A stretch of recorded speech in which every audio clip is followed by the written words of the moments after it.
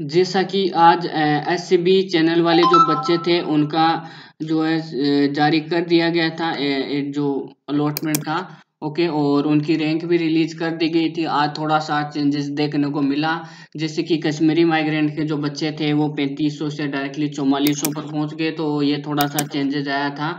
Okay then आप ये देख सकते हो, ये जो ईडब्ल्यू एस कैंडिडेट थे, ये पहले तिरसठ सौ पे थे, अभी इकहत्तर सौ पे पहुँच गए। ओके देन इतना ज़्यादा डिफरेंस पहले नहीं आ रहा था। ओके देन ये एस टी में तो ज़्यादा कोई डिफरेंस नहीं आया, पहले एटलीस्ट पंद्रह सोलह पे ही थे और सत्रह पे पहुँचे हैं। ओके देन ये जो है एस सी कैटेगरी वाले हैं, ये भी इतना ही नौ हज़ार कुछ पे थे, दस हज़ार पे पहुँचे हैं। ओके ओबीसी वाले जो कैंडिडेट थे, वो जो है एटलीस्ट कितने पे थे? बयालीस सौ पे थे, अड़तालीस सौ पर पहुँच गए, ज़्यादा कुछ इसमें भी नहीं आया। ओके देन जो है जनरल कैटेगरी के जो बच्चे थे, वो उन्नीस सौ दो हज़ार पे थे और ये बाईस सौ पे पहुँच गए। ओके तो अब भी बहुत सारे बच्चों की क्वारी ये है कि भैया, क्या ये फाइनल राउंड था? क्या इसके बाद कोई और भी होगा? तो यार, इसके बाद जो है और भी राउंड होने हैं, ठीक है? और जस्ट जो एस का चैनल है ओके देन इसकी जो लास्ट डेट है, जो एडमिशन की है, वो, ठीक है आपको जो फ़ीस पे करनी है, उनतीस नवंबर तक। देन आपको जो है, ये स्पोर्ट राउंड का जो प्रोसेस आप मान सकते हो एटलीस्ट उनतीस, तीस, ठीक है देन वन दिसंबर से एटलीस्ट दो दिसंबर को शायद अलॉटमेंट आ जाना चाहिए। ओके स्पोर्ट राउंड का।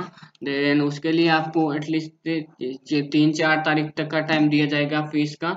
ओके तो यार अब ज़्यादा टाइम नहीं लगेगा। आई थिंक दो अलॉटमेंट और आने चाहिए वैसे। ठीक है, एक तो कंफर्म है स्पोर्ट राउंड एक तो हंड्रेड परसेंट ही आएगा एससीपी का तो। ठीक है एससीपी का एक तो हंड्रेड परसेंट कन्फर्म है कि आएगा ही आएगा। ठीक है, वैसे दो एक्सेप्टेड मान के चल रहे हैं, जिस प्रकार से सीटें हैं।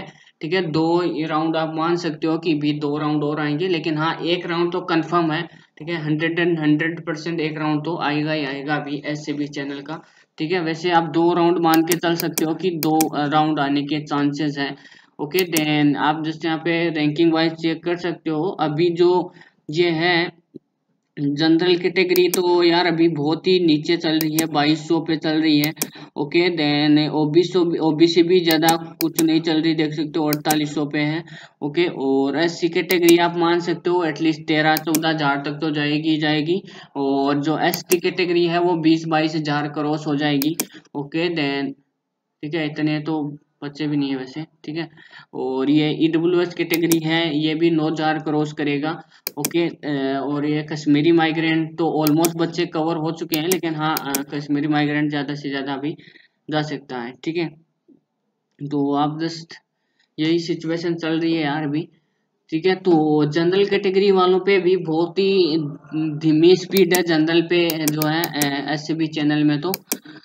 ठीक है स्टूडेंट्स के का जो राउंड है, पांचवा राउंड आ चुका है देन अभी एक राउंड और एक्सेप्टेड मार रहे हैं, ठीक है फाइनल राउंड नहीं है के का हो ठीक है, और मतलब hundred and hundred percent guarantee तो नहीं बोल सकता, लेकिन हाँ अभी के का एक राउंड और भी आ सकता है, ठीक है स्टूडेंट वैसे लिखा हुआ तो है फाइनल राउंड तो हो भी सकता है मे बी बट जिस प्रकार से सीटें बची हुई है यार तो मतलब होना तो नहीं चाहिए फाइनल राउंड ओके तो जस्ट जो भी सीट्स है के वाई की और जे आई आई टी एडवांस की, वो सारी की सारी जो सीटें हैं एस सी बी चैनल के अंदर मर्ज हो जाएगी ओके तो जो भी प्रोसेस है, पहले जेई एडवांस और के वाई खत्म होंगे और ये थोड़ा एस बी जो है, इसके बाद, दोनों के बाद में खत्म होगा।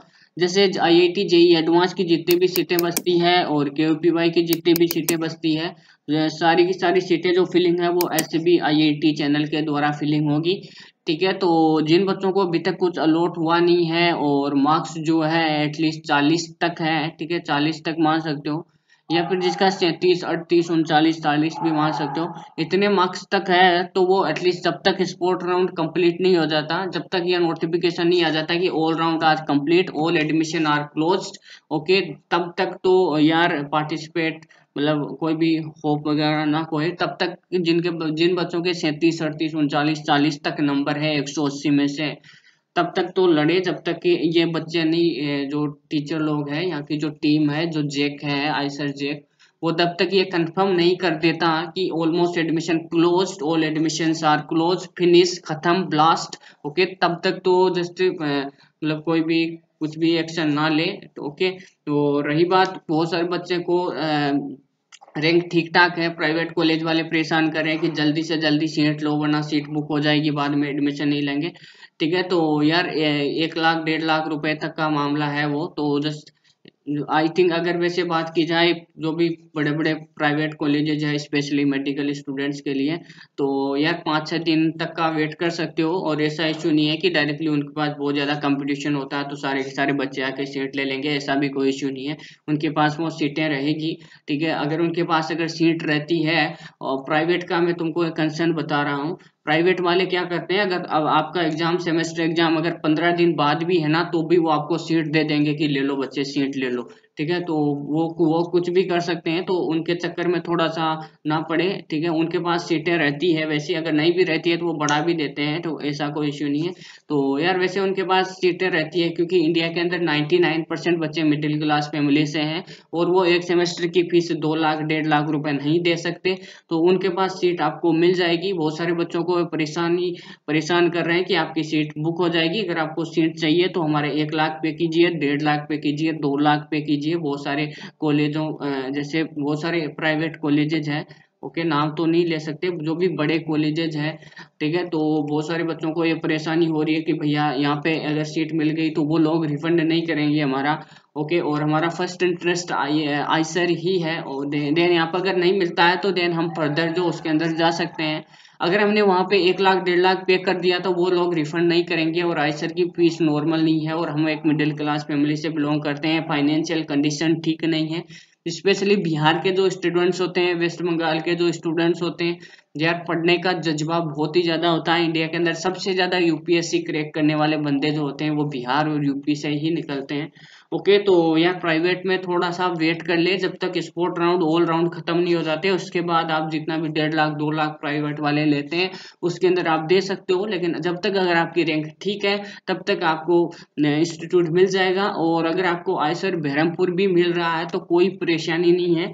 अगर मैं बात करूँ ऑल कैंपसेस की तो आयसर बहरमपुर का जो कैंपस है, सभी कैंपस से, सबसे बड़ा कैंपस आयसर बहरमपुर का है। फैकल्टी बहुत अच्छी फैकल्टी है आयसर बहरमपुर के अंदर। ओके कैंपस ऑलमोस्ट बन चुका है रनिंग में चल रहा है। ओके तो जस्ट ऐसी कोई बुराई नहीं है, ठीक है? किसी भी यूट्यूबर की बातों में आके अपनी एक सीट अपना एक जो लाइफ है, आपको एक अपॉर्चुनिटी मिली है, उसको ना खोए, क्योंकि बहुत सारे बच्चों की यही क्वारी आ रही थी, भैया आई सर बहरमपुर में लेने से तो अच्छा है कि हम प्राइवेट कॉलेज में ले लें। भाई आई सर बहरमपुर के अंदर क्या प्रॉब्लम है? ओके बहुत सारे मतलब यही प्रॉब्लम है कि आयसर बहरमपुर लो मार्क्स पे मिल रहा है, सबसे कम मार्क्स पे आयसर बहरमपुर मिल रहा है। क्यों? क्योंकि बहुत सारे बच्चों की मेंटेलिटी यही होगी कि आयसर बहरमपुर अच्छा नहीं है, क्योंकि वो कम मार्क्स पे मिल रहा है, इस कारण वो सीट लेफ़्ट कर रहे हैं, इस कारण वहाँ पे सीटें भरी नहीं है। तो इस इश्यू के कारण ये सीटें बची हुई है थोड़ी सी। तो अगर आपको अपॉर्चुनिटी मिल रही है तो आयसर बहरमपुर के अंदर ज़रूर सीट पे करें। ओके, बहुत सारे बच्चे हैं आयसर बहरमपुर के, जो कि आप यूट्यूब वगैरह पर सर्च कर सकते हैं लिंकड पर सर्च कर सकते हैं, उनसे कॉन्टेक्ट कर सकते हैं। अगर आपका एडमिशन हो सकता है, हो जाता है तो आप डायरेक्टली जाइए, वहाँ पे विज़िट कीजिए, क्योंकि कम से कम दो दिन का तो आपके पास टाइम मिलता ही है। ओके, दो दिन के अंदर आप मतलब देख सकते हो condition okay. I think IISER Berhampur is मतलब not bad it's is very good opportunity okay. Then IISER सारे आयसर अच्छे हैं, किसी में भी अगर आपको मिल रहा है तो फ़ीस ज़रूर पे करें और डायरेक्टली आप जा सकते हैं विज़िट कर सकते हैं, देख सकते हैं, कोई मनाही नहीं है कोविड सब जगह खत्म हो चुका है। ओके तो जाइए, देखिए ट्रेन रिजर्वेशन जो भी है, तुम्हारा एरोप्लेन एयर इंडिया इंडिगो ठीक है? किसी में भी जाइए, देखिए, ठीक है? चाहे वो मुखाली हो, पुणे हो, कोलकाता हो IISER all IISERs are very good okay and I support with this IISER Berhampur is very good okay अगर तुम्हें मिल रहा है तो ज़रूर ले। बहुत सारे छोटा सा प्रॉब्लम बस यही है लैंग्वेज का, क्योंकि वो उड़ीसा के अंदर है, ठीक है? तो लेकिन हाँ वहाँ पे तुमको कोई तमिल, वमिल कुछ नहीं बोलने वाला, ठीक है? सारे के सारे इंग्लिश के अंदर बोलते हैं और ऑलमोस्ट बच्चे जो सारे स्टेट से आते हैं ठीक है चाहे वो हमारे जयपुर से जाते हो, बच्चे राजस्थान से जाते हो, हरियाणा से हो, ठीक है, ऐसा कोई इश्यू नहीं है कि वहाँ पे सिर्फ़ उड़ीसा से, तमिलनाडु से, उधर से आएँगे बच्चे। ऑलमोस्ट सारे स्टेट से आते हैं यार, हिंदी, अंग्रेज़ी, ठीक है, पंजाबी है, हरियाणवी है ओके गुजराती है, सब कुछ, सारे बच्चे होते हैं वहाँ पे तो ऐसा कोई इश्यू नहीं है कि आपको लैंग्वेज का प्रॉब्लम आएगा, अगर आप कश्मीर से हो, अगर आप उड़ीसा से हो, ठीक है, अगर आपको मिल रहा है तो ज़रूर ले ओके ठीक है students okay thank you so much have a nice day bye